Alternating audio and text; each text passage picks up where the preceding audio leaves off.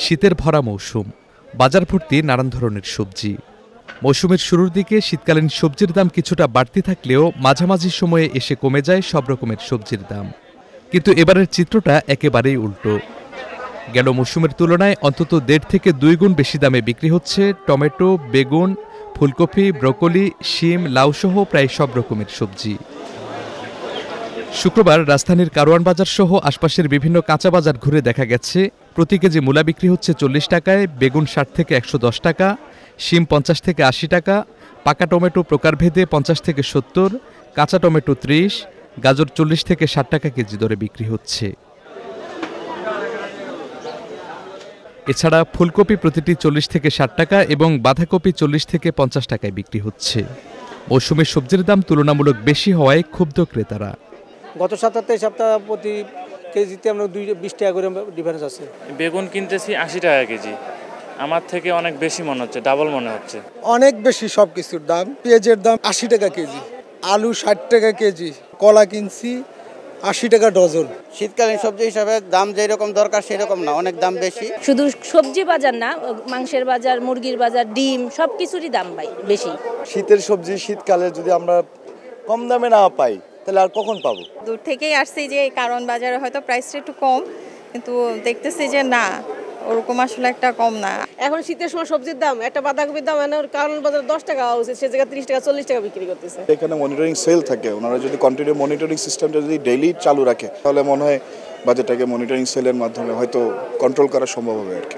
এদিকে বিক্রেতাদের দাবি পাইকারি আড়তে এমনকি প্রান্তিক কৃষকের কাছ থেকেই সবজি কিনতে হচ্ছে বাড়তি দামে। তার উপর সরবরাহও তুলনামূলক কম। কিছুদিনের মধ্যেই সবজির দাম আরও কমে আসবে বলে মনে করছেন কেউ কেউ। অন্যবারের তুলনায় ডাবল দাম। গতবারের সময় ছিল বিশ টাকা টমেটো এবার তো চল্লিশ টাকা পাইকারি। বেশি মনে হসলে আমরা কি করব। আমরা তো মনে হয় বেশি যেরকম দামে কিনে আনি সেরকম দামে বিক্রি করি। হয়তো পাঁচ টাকা দশ টাকা লাভ করি। কলা কিনা সত্তর বেশি আশি। মূলা কিনা বিশ বেশি তিরিশ। বেগুন কিনা ষাট বেশি সত্তর। লাভ আমাদের নব্বই কিনা বেশি একশো টাকা। মালের আমদানি একটু কম তো দাম একটু বেশি। সব কিছুরই তো দাম বেশি ভাই। গাড়ি ভাড়া বেশি সারের দাম বেশি আমদানি কম কুয়াশায় মাল নষ্ট হয়ে গেছে এই জন্য আমদানি কম দাম বেশি। প্রত্যেকটা সবজির দাম বেশি।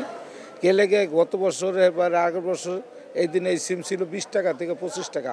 এবার এই সিম কেনাই লাগে দুই হাজার টাকা মন মাঝে বৃষ্টি হয়েছে না? বৃষ্টির কারণে বিক্রমপুরের আলুটা পচে গেছে গা। তখন ওই আলুটা আবার আয়া পড়তো এতদিনে। এতদিনে আইলে আবার বগুড়ার আলুটা আর ঠাকুরগাঁয়ের আলু দিনাজপুরের আলু এইগুলি আবার আমদামি হতো আমাকে দিছি আমদামি হতো বাজার কম থাকতো। সপ্তাহের ব্যবধানে বেড়েছে মাছ মুরগিসহ বেশ কয়েকটি নিত্যপণ্যের দাম। নিয়ন্ত্রণে আসেনি আলু এবং চালের বাজার। তবে স্থিতিশীল রয়েছে ডাল তেল পেঁয়াজ রসুন এবং মাংসসহ কয়েকটি পণ্যের দাম। ব্রয়লার দুইশো করে বিক্রি করতেছি আর কক তিনশো। গত সপ্তাহে দশ টাকা কম ছিল এখন বাচ্চা দশ টাকা কেজি বাজারের মাছ আসতেছে কিন্তু মাছের দাম একটু একটু বাড়তি। বাড়তি লেগে বাজারের মাছ বিকতেছে না। রেশিও অনুযায়ী সব কিছুতে আলটিমেটলি বাড়ছে। শুধু একটা জিনিসই বাড়ে না সেটা হলো সাধারণ মানুষের ইনকাম বাড়ে না। সবাই ইউজ টু হয়ে যাচ্ছি যে ঠিক আছে বাড়বেই তো আমার আছে আমি খাচ্ছি। আমার যার নাই সে না খেয়ে থাকবে তা আমার কিছু যায় আসে না। দর নিয়ন্ত্রণে বাজারের তদারকি বাড়ানো সহ যথাযথ পদক্ষেপ নেবে কর্তৃপক্ষ। এমনটাই প্রত্যাশা সাধারণ ক্রেতাদের।